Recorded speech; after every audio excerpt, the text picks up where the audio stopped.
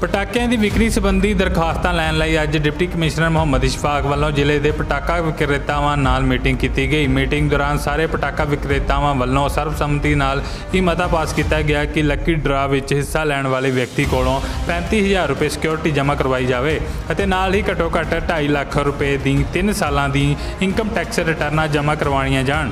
ਇੱਕ ਪਰਿਵਾਰ ਵਿੱਚੋਂ ਕੇਵਲ ਇੱਕ ਵਿਅਕਤੀ ਹੀ ਅਪਲਾਈ ਕਰ ਸਕਦਾ ਹੈ। ਅਜਿਹਾ ਹੋਣ ਨਾਲ ਫਰਜ਼ੀ ਵਿਅਕਤੀ ਡਰਾ ਵਿੱਚ ਹਿੱਸਾ ਨਹੀਂ ਲੈ ਸਕਣਗੇ। ਜ਼ਿਲ੍ਹਾ ਗੁਰਦਾਸਪੁਰ ਦੇ ਵਿੱਚ ਦੀਵਾਲੀ ਦੇ ਪਹਿਲਾਂ ਪਟਾਕਿਆਂ ਦੀ ਸੇਲ ਬਾਰੇ ਮਾਨਯੋਗ ਪੰਜਾਬ ਹਰਿਆਣਾ ਹਾਈ ਕੋਰਟ ਦੀਆਂ ਹਦਾਇਤਾਂ ਅਨੁਸਾਰ ਡਰਾ ਕੱਢੇ ਜਾਣੇ ਹਨ। ਉਹਨਾਂ ਵਾਸਤੇ ਪਿਛਲੇ 2 ਸਾਲਾਂ 'ਚ ਦੇਖਿਆ ਗਿਆ ਹੈ ਕਿ ਬਹੁਤ ਸਾਰੇ ਲੋਕ ਆਧਾਰ ਕਾਰਡ ਇਕੱਠੇ ਕਰਕੇ ਫ੍ਰੀਵਲੈਸ ਐਪਲੀਕੇਸ਼ਨਾਂ ਫਾਈਲ ਕਰਦੇ ਨੇ। ਉਸ ਤੋਂ ਬਾਅਦ ਕਈ ਵਾਰੀ ਜਿਹੜੇ ਲ- ਬੰਦੇ ਨੂੰ ਡਰਾ 'ਚ ਨੰਬਰ ਨਿਕਲ ਆਉਂਦਾ ਹੈ ਉਹ ਜਿਹੜਾ ਆਪਣਾ ਸ਼ੈੱਡ ਬਣਾਉਂਦੇ ਨੇ, ਉਹ ਵੀ ਇਦਾਂ ਦੇ ਸਮਾਨ ਦਾ ਬਣ ਜਾਂਦਾ ਜਿਹੜਾ ਕਿ ਠੀਕ ਨਹੀਂ ਹੁੰਦਾ। ਸੋ ਇਸ ਲਈ ਫੈਸਲਾ ਕੀਤਾ ਗਿਆ, ਸਾਰਿਆਂ ਨੇ ਬੈਠ ਕੇ ਮੀਟਿੰਗ ਕੀਤੀ ਗਈ, ਜਿਹੜੇ ਵਿਕਰੇਤਾ ਨੇ।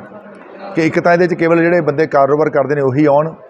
ਉਸ ਲਈ ਇਹ ਫੈਸਲਾ ਕੀਤਾ ਗਿਆ ਵੀ ਐਪਲੀਕੇਸ਼ਨ ਦੇ ਨਾਲ ਇਨਕਮ ਟੈਕਸ ਰਿਟਰਨ ਦੀ ਕਾਪੀ ਚਾਹੀਦੀ ਹੈ, ਤਿੰਨ ਸਾਲਾਂ 'ਚ 2.5 ਲੱਖ ਦੀ ਘੱਟੋ ਘੱਟ ਆਮਦਨੀ ਹੋਵੇ।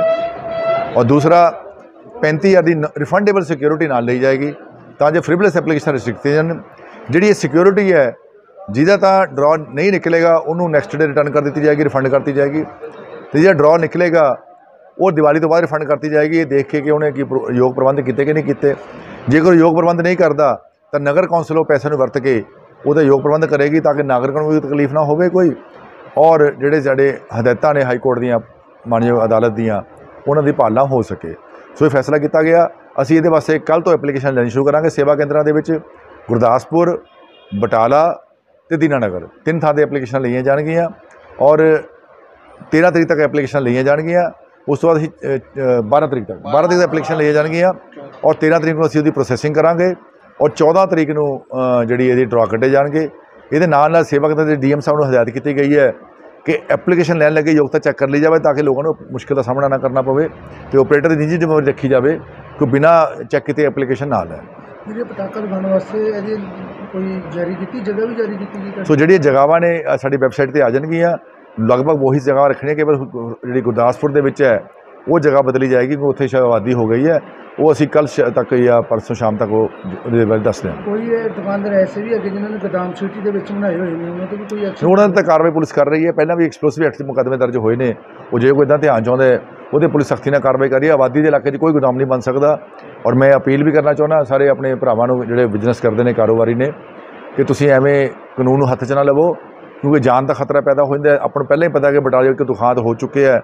ਸੋ ਕਿਸੇ ਵੀ ਜੇ ਸਾਡੇ ਭਰਾ ਨੇ ਦ ਸ਼ਹਿਰ ਦੇ ਵਿੱਚ ਜਾਂ ਇਦਾਂ ਕੋਈ ਗਰਾਊਂਡ ਬਣਾਇਆ ਹੋਇਆ ਬਿਨਾਂ ਇਜਾਜ਼ਤ ਤੋਂ, ਬਿਨਾਂ ਪਰਮਿਸ਼ਨ ਤੋਂ, ਉਹ ਤੁਰੰਤ ਬੰਦ ਕਰੇ।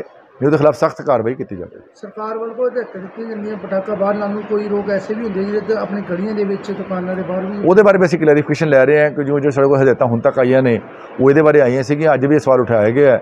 ਅਸੀਂ ਆਪਣੇ ਸਰਕਾਰ ਤੋਂ ਇਹਦੀ ਹਦਾਇਤਾਂ ਲੈ ਕੇ ਇਹ ਵੀ ਦੋ ਚਾਰ ਦਿਨ 'ਚ ਇਹਦੇ ਬਾਰੇ ਕਲੈਰੀਫਿਕੇਸ਼ਨ ਜਾਰੀ ਕਰ ਰਹੇ ਸਰ ਜਿਨ੍ਹਾਂ ਦੇ ਡਰਾ ਨਹੀਂ ਨਿਕਲਦੇ ਤੇ ਉਹ ਜਿਨ੍ਹਾਂ ਨੇ ਸੇਲ ਰੱਖੇ ਦੇ ਜਿਹੜੇ ਗੋਦਾਮਾਂ ਦੇ ਵਿੱਚ ਪਟਾਕੇ ਫਿਰ ਉਹ ਕਿੱਦਾਂ ਕਰਨਗੇ ਹਾਂ ਉਹ ਤਾਂ ਇਲੀਗਲ ਹੈ ਜੀ ਉਹ ਤਾਂ ਅਲਾਉਡ ਨਹੀਂ ਹੋਏਗਾ।